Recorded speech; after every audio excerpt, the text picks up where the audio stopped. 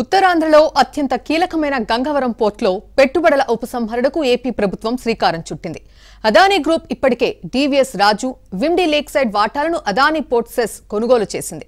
ఈ కొనుగోలుకు ఏపీ సర్కార్ ఆమోదం తెలిపింది. ఇక రాష్ట్ర ప్రభుత్వం వాటాలను ఇవ్వాలన్న అదానీ ప్రతిపాదనలపై ప్రభుత్వం ఓ కమిటీని నియమించింది.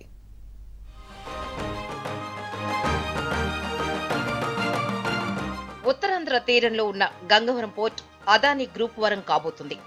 గంగవరం పోర్టులో డివిఎస్ రాజుకు ఉన్న యాభై ఎనిమిది పాయింట్ ఒకటి సున్నా శాతం వాటా విండీ లేక్ సైడ్ ఇన్వెస్ట్మెంట్ లిమిటెడ్కు ఉన్న ముప్పై ఒకటి పాయింట్ ఐదు సున్నా శాతం వాటాలను అదానీ గ్రూప్ కైవసం చేసుకుంది. ఇక గంగవరం పోర్టులో రాష్ట్ర ప్రభుత్వానికి పది పాయింట్ నాలుగు సున్నా శాతం మేర వాటాలున్నాయి. ఈ వాటాలను కూడా తమకు విక్రయించాలని అదానీ గ్రూప్ ప్రభుత్వానికి ప్రతిపాదనలను పంపింది. ఒక్కో షేర్ ధర నూట ఇరవై రూపాయల చొప్పున అమ్మితే ప్రభుత్వానికి ఆరు వందల నలభై ఐదు కోట్ల రూపాయలు వస్తుందని అంచనా వేస్తున్నారు. అయితే అదాని గ్రూప్ పంపిన ప్రతిపాదనల సాధ్యాసాధ్యాలను పరిశీలించేందుకు ఉన్నతాధికారులతో ఒక కమిటీని ఏపీ ప్రభుత్వం నియమించింది. దీనికి సంబంధించి ప్రభుత్వం జీవో నెంబర్ ఐదును విడుదల చేసింది. సాధ్యాసాధ్యాలను పరిశీలించి అరవై రోజుల్లో నివేదిక సమర్పించాలని కమిటీని రాష్ట్ర ప్రభుత్వం ఆదేశించింది.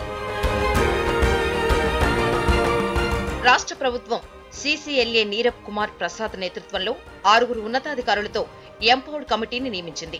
ఈ కమిటీలో సభ్యులుగా రెవెన్యూ శాఖ ప్రత్యేక ప్రధాన కార్యదర్శి రజత్ భార్గవ ఆర్థిక శాఖ ముఖ్య కార్యదర్శి రావత్ న్యాయశాఖ కార్యదర్శి సునీత ప్రభుత్వ రంగ సంస్థల కార్యదర్శి కెవి రమణ పెట్టుబడులు మౌలిక సదుపాయాల కల్పన శాఖ ప్రత్యేక ప్రధాన కార్యదర్శి కరికాల వలెవన్ ఉన్నారు.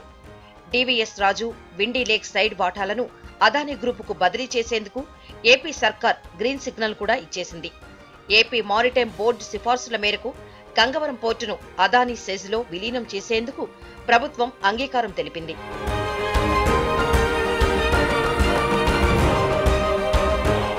గంగవరం పోర్టులో వాటాల బదిలీ ప్రభుత్వ పెట్టుబడుల ఉపసంహరణపై ప్రభుత్వం నియమించిన ఉన్నతాధికారుల కమిటీ కసరత్తు చేయనుంది.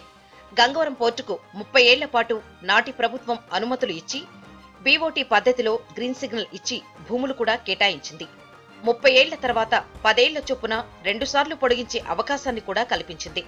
పోర్టుకు ప్రభుత్వం ఇచ్చిన భూమి ఇతర ఆస్తులు అదేవిధంగా ప్రభుత్వానికి రావాల్సిన ప్రయోజనాలకు భంగం కలగకుండా చూస్తున్నారు. అయితే గంగవరం పోర్టులో ఏపీ ప్రభుత్వం వాటాను అమ్మేయాలనే నిర్ణయంతో ప్రభుత్వ వాటాకు కట్టిన విలువ సరైందో కాదో కూడా ఈ కమిటీ పరిశీలన జరపనుంది. అరవై రోజుల్లో నివేదిక ఇవ్వాలని ప్రభుత్వం జీవోలో కోరటంతో కమిటీ వెంటనే తన పనిని ప్రారంభించనుంది. ఈ నివేదిక అనంతరం ప్రభుత్వ వాటాను అదానీ గ్రూపునకు విక్రయించే అంశంపై తదుపరి నిర్ణయం తీసుకోనున్నారు.